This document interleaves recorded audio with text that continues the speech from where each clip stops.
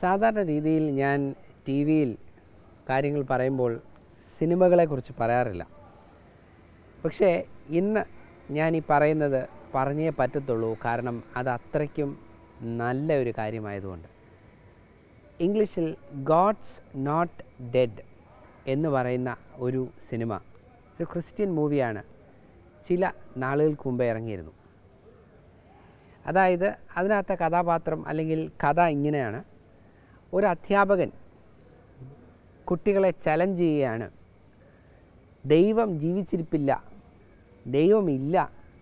നമ്മൾ ഉളവായി വന്നവരാണ് എന്നുള്ളത് ചലഞ്ച് ചെയ്തിട്ട് ആ ഗ്രാജുവേറ്റ് ക്ലാസ്സിൽ ആ ചലഞ്ച് ഏറ്റെടുക്കുകയും അവസാനം അതിലെ വിദ്യാർത്ഥി ദൈവമുണ്ട് എന്ന് തെളിയിക്കുകയും ചെയ്യുന്നതാണ് ഈ ചിത്രം.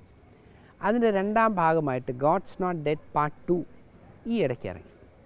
അതിൽ ദൈവം ഉണ്ട് എന്ന് തെളിയിച്ചതിന്റെ പിന്നാലെ ചരിത്രത്തിൽ യേശു ക്രിസ്തു ജീവിച്ചിരുന്നു എന്നുള്ളത് തെളിയിക്കുകയായിരുന്നു ഈ രണ്ടാമത്തെ ചിത്രം.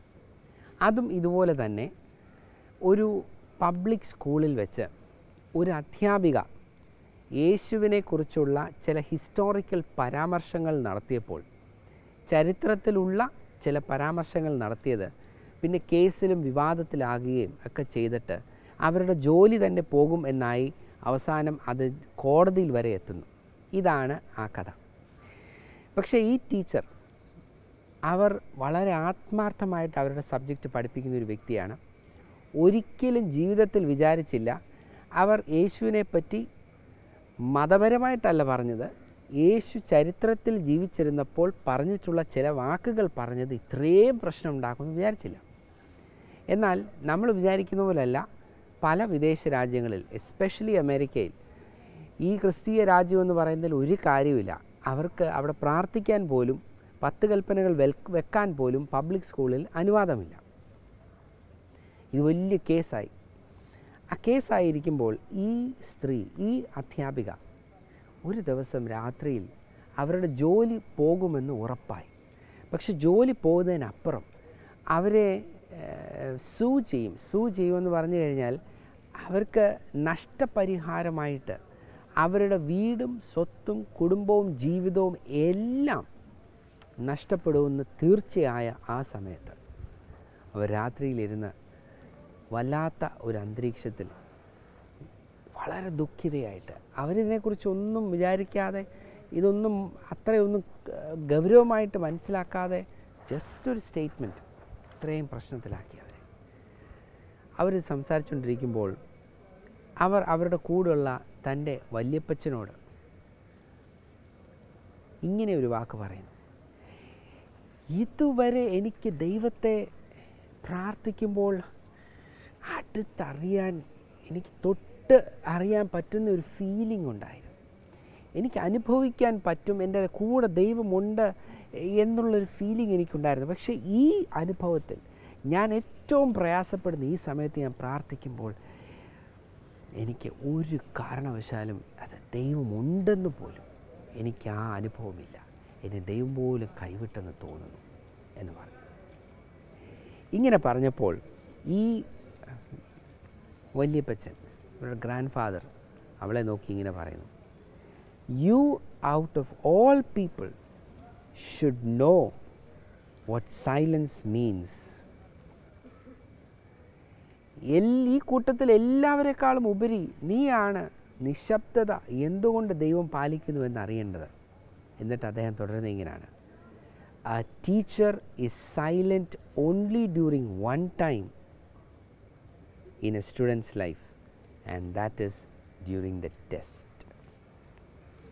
ഒരു അധ്യാപകൻ നിശബ്ദനായി നിശബ്ദിയായി ഇരിക്കുന്നത് ഒരു വിദ്യാർത്ഥിയുടെ ജീവിതത്തിൽ ഒരിക്കലേ ഉള്ളൂ. എപ്പോഴാണെന്നറിയാമോ പരീക്ഷ നടന്നുകൊണ്ടിരിക്കുമ്പോൾ പെട്ടെന്ന് അവളുടെ മുഖം മാറുന്നത്. ഇത് കേട്ട ഞാനും വിചാരിച്ചു അയ്യോ അത് ശരിയാണല്ലോ. അതിന്റെ അർത്ഥം അവളൊരു പരീക്ഷയിലൂടെ കടന്നു പോവുകയാണ് ഒരു വിദ്യാർത്ഥി പരീക്ഷ എഴുതുമ്പോൾ അധ്യാപകൻ അധ്യാപിക ഒരൊറ്റ അക്ഷരം മിണ്ടത്തില്ല. കാരണം അവർക്ക് പഠിപ്പിക്കാനുള്ളത് അവർ പഠിപ്പിച്ച് കഴിഞ്ഞു. അതെത്രത്തോളം ആ വിദ്യാർത്ഥി ഗ്രഹിച്ചുവെന്നും പഠിച്ചുവെന്നും തെളിയിക്കുന്നതാണ് ഈ പരീക്ഷ. ആ പരീക്ഷയിൽ അവർ മിണ്ടത്തില്ല. അതിനു മുമ്പും അതിന് പിൻപും മിണ്ടാം. ജീവിതത്തിൽ ആ പ്രശ്നം വന്നപ്പോൾ ദൈവത്തെ തൊട്ടറിയാൻ പെട്ടെന്നറിയാൻ പറ്റുന്നില്ല എന്നുള്ള ആ പ്രയാസം വന്നപ്പോൾ ആ ഒരു വാക്ക് ഞാനൊരു പരീക്ഷയിലൂടെ കടന്നു പോവുകയാണ് ഈ പരീക്ഷയിൽ ദൈവം എന്റെ അടുത്തുണ്ടെങ്കിലും ദൈവം ഒരു വാക്കും മിണ്ടത്തില്ല. കാരണം എന്നെ പഠിപ്പിച്ചിട്ടുള്ള കാര്യം ഞാൻ എത്രത്തോളം ഗ്രഹിച്ചുവെന്നും അത് എത്രത്തോളം എന്റെ ജീവിതത്തിൽ പ്രാവർത്തികമാക്കുമെന്നും ദൈവം നോക്കിക്കൊണ്ടിരിക്കുകയാണ്. ഇതിനുപരി ഒന്നും പറയേണ്ട ആവശ്യമില്ലല്ലോ. ദൈവത്തെ അനുഭവിക്കുവാൻ അറിയുവാൻ പറ്റുന്നില്ല. ദൂരെ എവിടോ ഇരിക്കുന്നു എന്നുള്ള ആ തോന്നൽ. അതെല്ലാം വരും എപ്പോഴാണ് പരീക്ഷ സമയത്ത്. പരീക്ഷ സഹിക്കുന്ന മനുഷ്യൻ ഭാഗ്യവാൻ. അവൻ കൊള്ളാവുന്നവനായി തെളിഞ്ഞതിന് ശേഷം ദൈവം അവനു വേണ്ടി വെച്ചിരിക്കുന്ന ആ കിരീടം ആ റിവാർഡ് പ്രതിഫലം ദൈവം അവന് നൽകും. കണ്ണുകളെ അടയ്ക്കാം പ്രാർത്ഥിക്കാം. ഞങ്ങളുടെ സ്വർഗസ്സനായ പിതാവേ പലപ്പോഴും ജീവിതത്തിലെ പരീക്ഷാ ഘട്ടങ്ങളിൽ ദൈവം ഇത്രയും നാളും അടുത്തുണ്ടായിരുന്നു.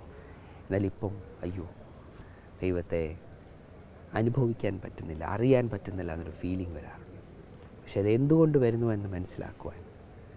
ഞങ്ങൾ പരീക്ഷ എഴുതുമ്പോൾ ഒരു അധ്യാപകൻ മിണ്ടത്തില്ല. മാറി നിന്ന് ശ്രദ്ധിക്കത്തേ ഉള്ളൂ എന്ന് മനസ്സിലാക്കുവാൻ ഞങ്ങളെ ഇടയാക്കിയിരുന്നു. ഞങ്ങളുടെ പ്രാർത്ഥന കേട്ടനായി സ്തോത്രം. യേശു ക്രിസ്തു നാമത്തിൽ തന്നെ. ആമേൻ.